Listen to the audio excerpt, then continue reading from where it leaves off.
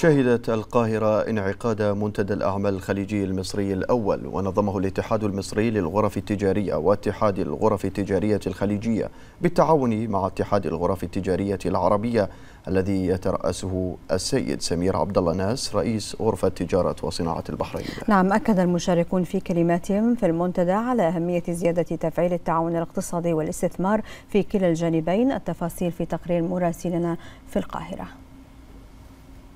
forces شهدت القاهرة انعقاد منتدى الأعمال الخليجي المصري الأول ونظمه الاتحاد المصري للغرف التجارية واتحاد الغرف التجارية الخليجية بالتعاون مع اتحاد الغرف التجارية العربية الذي يترأسه السيد سمير عبد الله ناس رئيس غرفة تجارة وصناعة البحرين وبحضور وزير التجارة والصناعة المصري أحمد سمير ورؤساء الغرف التجارية في دول الخليج ومصر والعديد من رجال الأعمال والخبراء.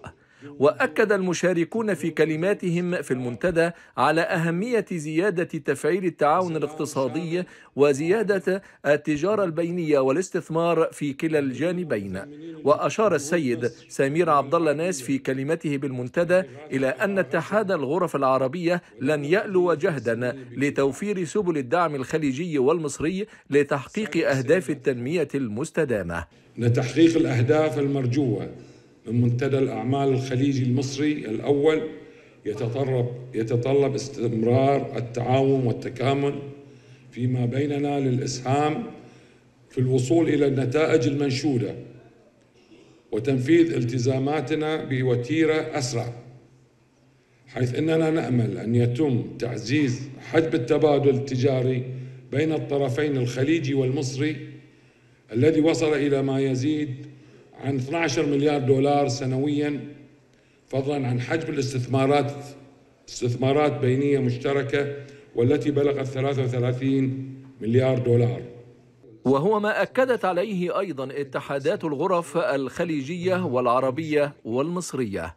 ويأتي منتدى الأعمال الخليجي المصري الأول الذي يجمعنا اليوم تحت شعار أعمال شراكة استثمار ليعكس مجددا حرص الجانبين على تعميق علاقتهما في شتى المجالات الاقتصادية والاستثمارية والصناعية والتجارية بين دول المجلس وجمهورية مصر العربية والربط بين أصحاب الأعمال الخليجيين مع نظرائهم من الجانب المصري للوصول إلى شراكات مربحة وناجعة بين كبرى الشركات والمصانع الخليجية والمصرية. لقد سعينا جاهدين لتنمية علاقاتنا الثنائية من خلال تعاون مثمر بين اتحادات الغرف والغرف في دولنا.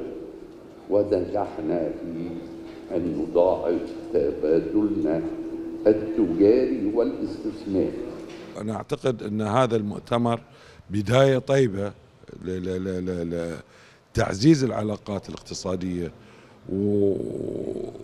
وتقوية اقتصادات الدول بالأخص مصر. مصر لها مقومات كبيرة وفرص متاحة كبيرة ولها يعني دور محوري في الوطن العربي. لذلك إحنا يعني إن شاء الله يعني طمعانين ان ان زيادة اللحمة الاقتصادية بيننا وبين مصر. من خلال هذه المنتديات راح تعزز العلاقة الاقتصادية إن شاء الله بيننا وبين مصر الحبيب إن شاء الله.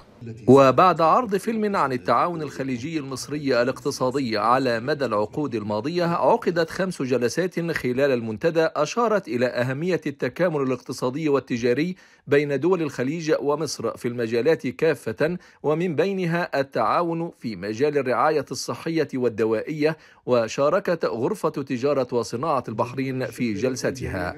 في الناحية الدوائية هناك في كثير من المسائل التي ممكن أن تتكامل بين الطرفين. آه وممكن كذلك في بعض المستلزمات الطبية واللي هي مهمة جدا وكذلك في الخدمات الطبية.